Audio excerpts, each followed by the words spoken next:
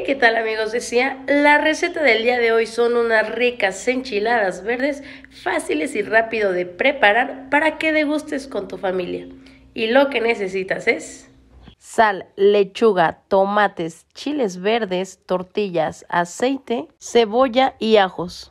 En un recipiente con agua se ponen a hervir los tomates y los chiles. Después de 5 minutos los vaciamos al vaso de la licuadora, agregamos comino, cebolla, ajo, agua y molemos. En una cacerola agregamos un poco de aceite y lo dejamos a fuego lento. Cortamos cebollas en julianas, agregamos a la cacerola de aceite y dejamos para que agarren el sazón. Agregamos la salsa verde y movemos. Por otro lado, empezaremos a picar la lechuga y la dejaremos en un recipiente para lavarla. También necesitaremos queso Oaxaca, queso blanco y crema. El queso Oaxaca es para rellenar las tortillas y hacerlos en forma de taquito. Y una vez acabando, volvemos a poner aceite en un sartén para freír las tortillas.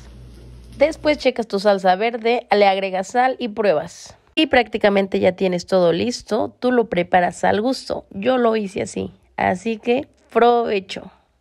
Espero te haya gustado este video y si es así, te invito a que sigas nuestras páginas oficiales de CIA porque por ahí te estaré subiendo contenido de este tipo y nos vemos en un próximo video.